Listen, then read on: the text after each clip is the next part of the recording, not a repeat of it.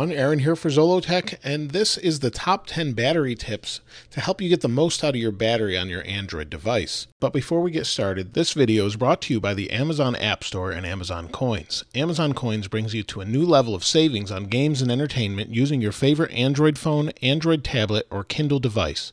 By going to amazon.com slash underground and installing the Amazon App Store, you can save up to 10% on Amazon Coins, which you can use to purchase your favorite games and get the most out of your in purchases. Be sure to check out the Amazon App Store and their weekly deals and savings using Amazon Coins. The first one has to do with screen brightness. Now, screen brightness, depending on which version of Android you have, this is actually Android Nougat Beta 5 right now, and the battery's been pretty good. But if you want to save some battery life, you can turn your screen brightness down, and you can see right here, we can just turn it down or up. But the other thing we can do is have it intelligently actually do it by itself, and that's something that you get in Android 5 or newer. So if I go in here, and then we scroll down, we go to a display, we can intelligently have it turn the brightness up and down using adaptive brightness. This will usually save you some battery life and help you out. Speaking of the display, turn off ambient display if you want to save a little bit extra battery, although this doesn't use very much. Moving back to the screen, one of the other things you can do is remove widgets you don't use a lot. Widgets generally tend to pull data and actually use battery life to gather that data. So if there's a widget you don't want or don't use, tap and hold and remove it off the screen. That should save you some life right there. And the more you have, the more battery you're actually going to use. So if you're not using them, just get rid of them. Now, Android has pretty good battery management, especially with Nougat. But if we go into settings and then we go down to battery, and I just charged this, so we're not going to see a ton of information here, but you'll see we're at 93%, approximately 13 hours left. In here, this will show what's using the most battery. Now, you may want to go in here to see what applications might be using a lot of battery that you don't use a lot. And you can find that out as they build down here. Over time, it will show you what applications are using it. And if it's an application you don't use a lot or hardly at all, you may want to consider uninstalling it to stop using all that battery.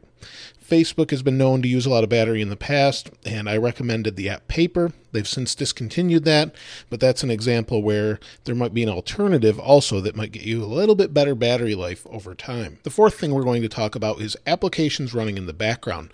Now, the belief has long been held that you should close those applications regularly. However, with the latest versions of Android, especially M and N or Marshmallow and Nougat, you really shouldn't be doing that according to Google. If you go into your app switcher here, you'll see all these different applications sitting here. You can hit clear all and clear all of them away, but this actually might use more battery when you go to reopen those applications. So if it's something you use frequently, you may not want to keep closing it because you'll have to actually reopen it and use more processor cycles to actually get back to where you were originally. So, according to Google, and actually Apple also says this for iPhone users, uh, stop closing the background apps unless it's something like navigation that's going to continually use your your actual device's battery, stop closing them. The fifth thing we'll talk about has to do with your GPS and location data. Location data uses a lot of power, and that's because most of the time it has to actually turn on your GPS antenna and figure out where you're at. So, using Google Now for different appointments, telling you where you need to go, when, and how far you are from them, uh, that uses your location to determine most of that information or some of that information. What we need to do is, if we're in a battery situation where we need to conserve battery power, we need to actually turn that off or change its setting. So right now you'll see I'm on high accuracy mode in location. This is just normal settings under personal. And here you'll see I have Google app, the Play Services, Project Fi, and the Weather Channel using my location data. We can change the mode from high accuracy to battery saving or device only. And the difference is high accuracy uses GPS, Wi Fi, Bluetooth, and cellular networks all at once to determine your location. Battery saving gets rid of the GPS antenna, which uses the most amount of power, or device only uses just the GPS to determine it. So we can go into battery savings, or best case scenario for saving battery is just turn it off altogether. So if you can do that, you're out and about and you really need to conserve battery, flip that off and you should save a good amount. Now, the next thing has to do with notifications. Notifications are one of the great things about Android, but notifications coming in consistently can take up a lot of power. So, again, in settings, if we scroll up or down here to notifications, we can see what's using notifications. It's going to take just a moment here. We can go into the settings and we just have a couple different things. Nothing really crazy here. And right now it says, there we go, it loaded all of them. And these are all the apps that can send me notifications. Now, the quick thing we can do is actually turn on Do Not Disturb. Do Not Disturb can help block some of those if your phone is turned off. We can turn them off individually. So if we go to, say, Amazon Music, and we can block all, and we can do this individually or basically let one override do not disturb. Notifications will pull data and, and talk to your cellular or data networks to get that data. So you may want to consider turning that off to actually help a little bit with, with your battery if it's getting bad.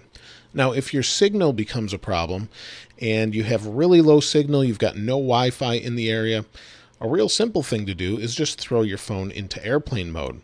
You can do that, just hit the airplane mode button, and wherever it is in your menus, depending on which version of Android you have, throw it into airplane mode. It'll shut off all your networks and antennas, and that will actually save you a ton of battery power. So maybe you're working somewhere, you don't need access, you don't need to make any calls, or you're not expecting any calls, or no one needs to get a hold of you in an emergency situation turn it on and you'll save some power. I personally couldn't do that because maybe someone needs to get a hold of me family wise. But if you have that luxury or you need to, flip it on airplane mode and save a bunch of power. The next thing we can do is actually change the screen timeout. Now for these videos, I need to keep the screen on, so I change this quite a bit. So if I go into the settings and then go to display, under display, we have sleep, and sleep right now is after 30 minutes. But if I change that to 15 seconds like I do normally, it's going to save me a good amount of power, and I'm not going to have a lot of screen on time when I'm not using the device. So it, it's a great idea to just flip to 15 seconds, uh, and as long as you don't need it to stay on in front of you, that's a great way to save some battery as well. Now let's go back home, and the next thing we can do, actually, let's go back to settings is for notifications or haptic feedback, we can turn off the vibration motor.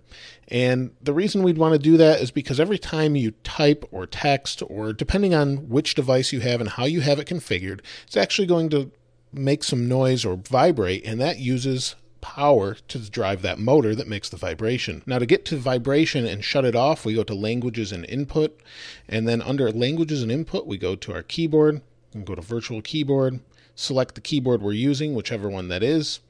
And then under preferences, we go to preferences, and here you'll see vibrate on key press. So we can turn that off if we don't want it. We can also change the actual strength from small to great. So depending on how you have that set, you're going to use more or less battery depending on what you're using. Now let's go back home, and the final thing we have is to turn on battery save mode. So let's go back to preferences, and our battery we have this great mode, especially in Android M and N battery. We have Battery Saver.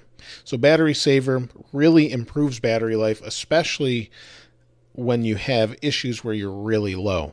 So you'll see it says here battery saver turns off automatically when your device is charging. And it also says to help improve battery life, battery saver reduces your device's performance and limits vibration, location services, most background data, and so on. Basically, a lot of the things we talked about, it does on its own, but also degrades performance. So you may not want to do that unless you really need to. So, those are the top 10 battery tips I've found that I think should help you out best as possible with your Android device. This is my Nexus 6P, and it's been really great on battery, especially with Android Nougat, and even with the beta, it's been really good. So, the final version should be maybe even a little bit better. But if you have any other tips that rank a little bit higher, maybe I didn't even mention them, let us know in the comments below. If you haven't subscribed already, please subscribe and like. As always, thanks for watching. This is Aaron I'll see you next time.